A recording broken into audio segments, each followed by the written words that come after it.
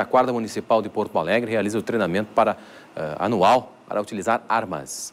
O curso com 80 horas de qualificação é considerado fundamental para atender uma demanda pela corporação que cresce na capital. A Guarda Municipal de Porto Alegre conta com 790 servidores. Desses, 250 são guardas armados. O treinamento e reciclagem para uso de arma de fogo acontece todos os anos.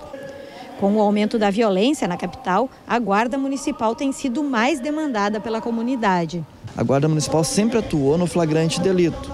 E no flagrante delito, é, todos podem, qualquer cidadão pode. E a Guarda, sendo capacitada e treinada para isso, ela sempre atuou é, no flagrante. Porém, hoje, o que mudou é a demanda.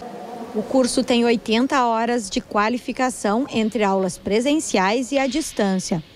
A capacitação atualiza conceitos teóricos da legislação, além das técnicas práticas e operacionais da Guarda Municipal.